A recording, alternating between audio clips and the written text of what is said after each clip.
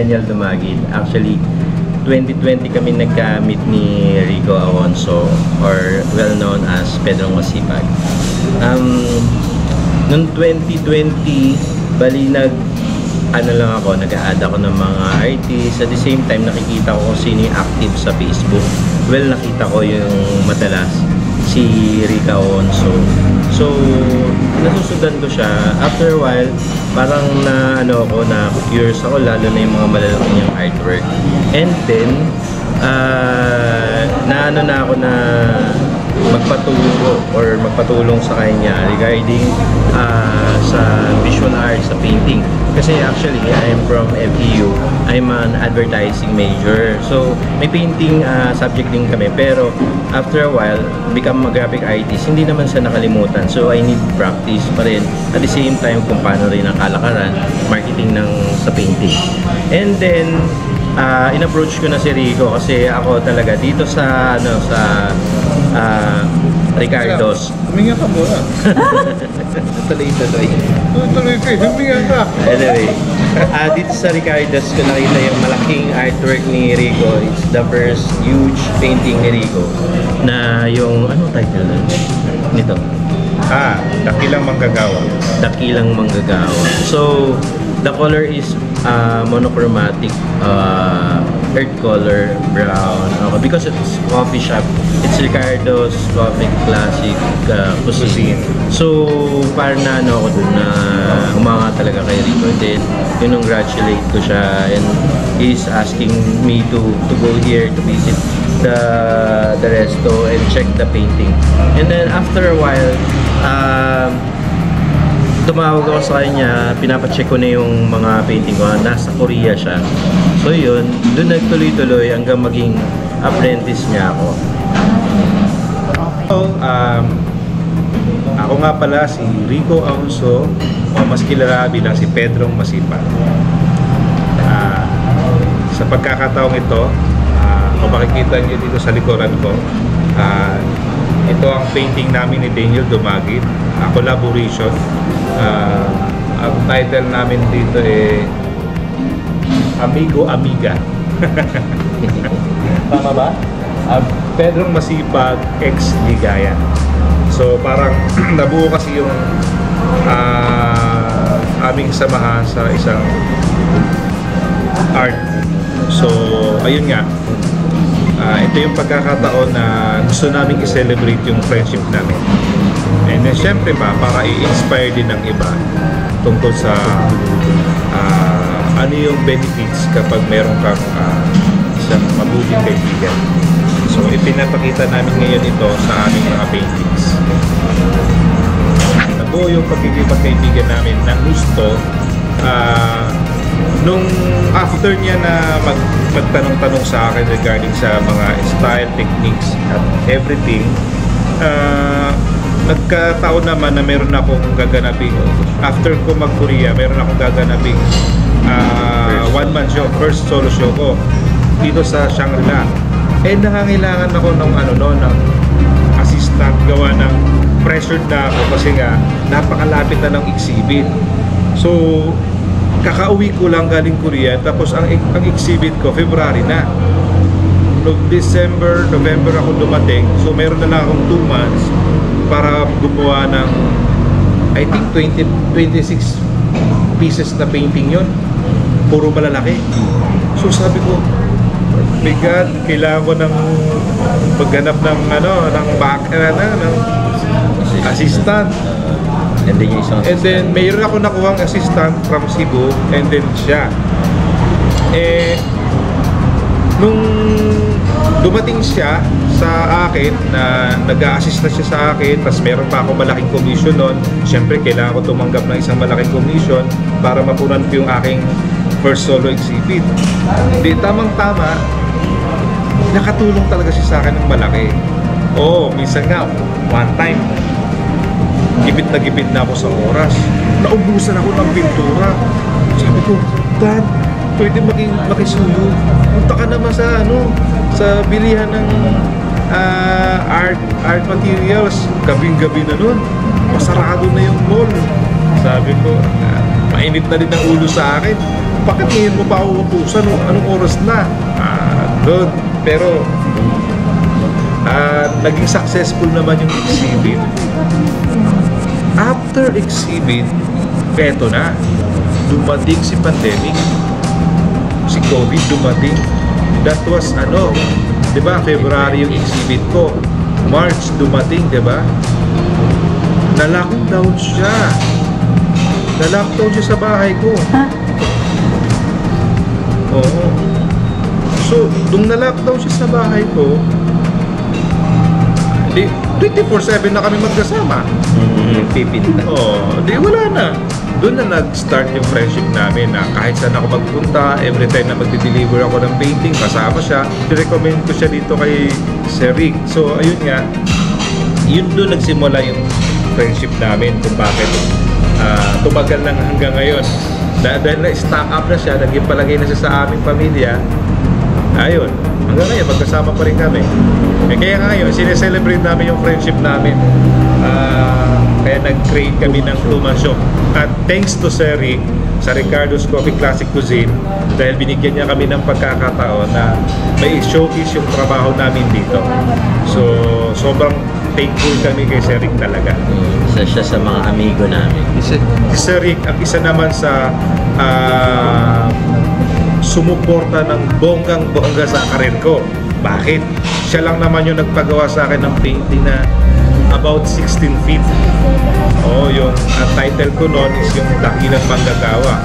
Yun din lahat ng watercolor ko na na ginawa during 2019, binili niya ng binili. Oo, kaya makikita mo dun sa office niya, puro watercolor ko na nakadisplay doon. Kaya sobrang ah, lapit ng loob ko kay Siri kasi isa siya sa sumusuporta at nagtitiwala sa akin. Ah, Siguro yung prices mo na medyo ano. Di ba? Ano kasi ngayon, pero malaking bagay sa akin. Exactly. Ah, ah, ah, ano, tawag nito? Actually, actually, nangailangan ako that time kasi nanganak yung asawa ko premature yung bata. Kailangan ko ng 200,000 para malabas ko yung anak ko sa ospital. Yes, kailangan ko siyang may labas at kailangan ko ng worth 200,000 para may labas yung panganay ko. Na alam mo ba kung anong pangalan pa ng panganay ko? Rick din. Pinangalan ko sa kanya. Oh, yung panganay ko si uh, uh, the young guy, the Oo. my favorite. Yun. Pinangalan ko sa kasunod niya, Rick din. Tapos, oh, di, si, si Sir ang isang malaking ah, anghel sa buhay ko. Nung time na nangailangan talaga ako, siya yung sumuporta. At sa tulong niya, nailabas ko yung anak ko sa ospital. Oo. Ah, well, I am Irene Hernandez Castillo. Yan. Ah, lumaki na ako ah, sa, sa buhay ng art. So, my late husband was an artist. No? He is known for miniaturism. Uh, and my daughter is also an artist. So, kumbaga parang ang mundo ko, ang art ay mundo ko rin. Pero, sa tagal ng parati ako nasa mga opening ng art exhibits, ah, left and right, I never, I appreciate so much art, pero I never, siguro wala pa rin akong K na makabili because napakamamahal na mga artwork. Pero ah, we have I have the opportunity to collect one, no? Kasi parati kong naririnig yun sa husband ko, late husband ko. Bawat painting ng artist ay may katapat. Until ah, nag-open ang art exhibit sa Ricardo's Galleria Al Fresco and I was invited with my ano ah, partner and naghahang pa lang sila. I arrived ah, nung gabi, no, nagsasabit pa lang sila ng painting. Then I saw the painting of Daniel Dumagir. I was kumbaga parang na-move ako ng painting na yon kasi upon looking at the painting, parang I feel something, no? Na parang na-move ako. Parang nagkaroon ng magnet sa akin yung painting na yun na nakasabit sa wall. And then, ang tagal kong tinitigan. Parang, eh, hindi ko maramdaman, no? Parang, parang kakaiba yung nararamdaman ko. Until I approached uh, Mr. Ricardo, sabi ko, for sale na ba? Pwede na ba pumili? Because gusto ko yung painting na yon. So, sabi niya, hindi pa pwede bukas pa. Sabi ko, sige na. I insist na baka pwede i-reserve na sa akin yung painting na yon. So, yon I was so fascinated with the colors. Parang being a busy woman, ang daming challenges. So, pagtingin ko dun sa artwork ni Daniel Dumagit, sabi ko parang na-relax ako and I position myself ganito. So, the painting and I, parang nagko-communicate na kami sa isa't isa. Parang sinasabi nung painting sa akin na, at last, you found your place of silence, you found a peaceful place, and I am here to embrace and make you warm. So, ganun yung naramdaman ko. So, parang, upon looking at the painting, parang I am so at peace. Kaya alam mo, pinalagay ko yung painting niya nung dumating sa, nung na-deliver na. Alam mo, sa loob ng kwarto namin. Oo, sa may headboard, sa lahat. And then, every entol ko sa room, nako, yun agad ang titingnan ko. Parang, it's a solace. Parang, ayun. Ah, yun ang na, na, naramdaman ko sa painting. Kaya lang, after that exhibit, nako, nagmahal na yung kanyang mga painting. Ako nga eh. Hindi ako makaano, makabili-bili. Oo, so I'm glad that at last, kumbaga Yeah, masasabi ko na. I am one of the art collector na Yeah. and my first collection is the painting of Daniel Dumago. Yeah. Yun. So thank you Daniel for ano for that. Well, ang ginamit po naming tema is amigo. Bakit? Kasi nga, nabanggit na to kanina, magkaibigan kami ni Daniel. Pero hindi lang din po yun doon nagtatapos. Ah, lahat po kayo, amigo ko, amiga. So, kayo po na nandito ngayon, ah, special po kayo sa puso ko. So, kayo po na nandito ngayon, lahat po kayo, isa sa sumuporta sa karir ko. So, dahil doon, gusto ko pong magpasalamat ng gusto. Ganyan din kay Daniel na laging nandyan. Kahit saan ako magpunta, 24-7. Minsan nagsiselos na yung asawa ko. so, ayun nga, ah, gusto kong ah, bigyan ng pagkakataon yung, yung araw at oras na ito na ah, mas bigyan pa ng ah, definition yung salitang amigo o kaibigan. Ah, sa pamamagitan ng aming obra, gusto ko pong makita ninyo na ang maha- mahalagang salik yung friendship. At dahil doon, nag-prepare din kami ng ah, isang um, memorable para sa ating lahat na na, na yung mga umattend dito ay makapag ah, bigay ng kaunting ah, creativeness ng mind ninyo. So, para maging immortalized yung ah, friendship natin at marami po ang makasaksi.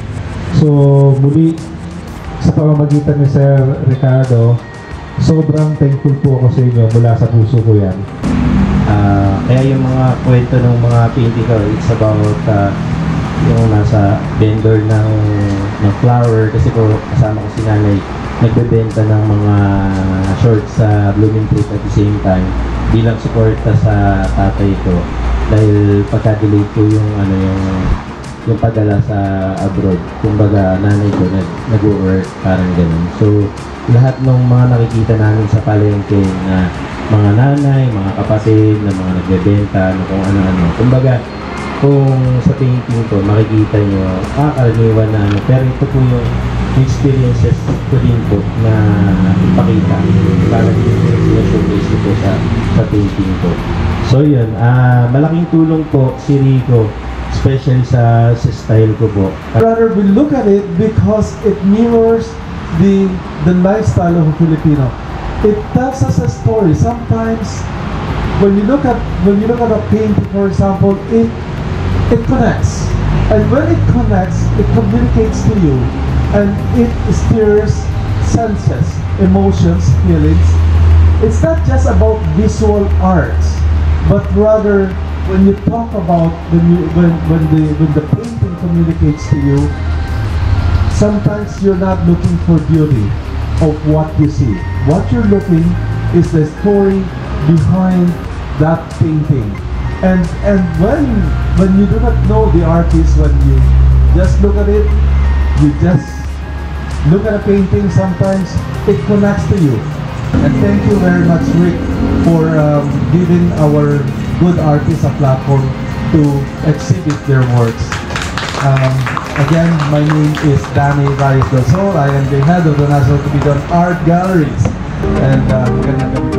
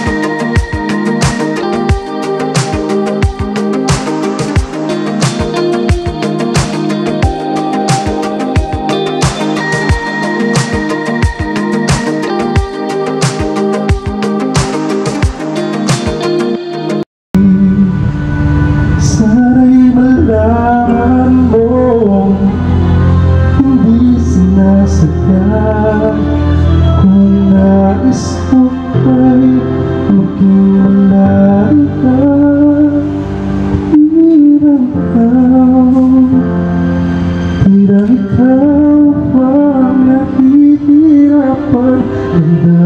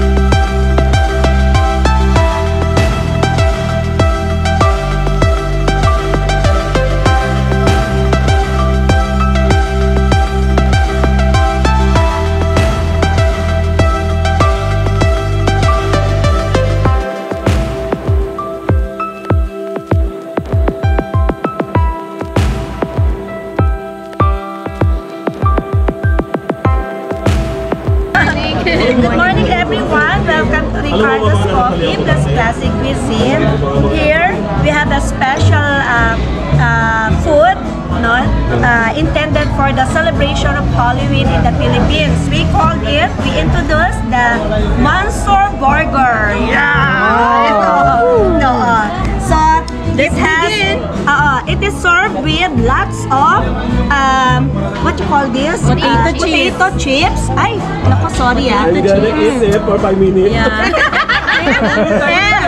Ayan. Makita nyo, a lot of yummy. This is what they call the beef monster burger. Of Ricardo. Oo, of Ricardo's. Ayan. So, newly introduced burger. Nako, talaga nang na- nakaka, nakakasabi.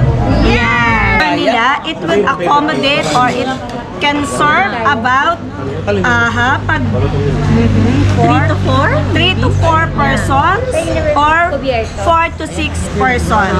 Kung kayo po eh medyo ah, mahinhin kumain, ah, pwede na dito ang 3 to 4 persons. Pero pag po... Pero kung si Sir Roy, Oo.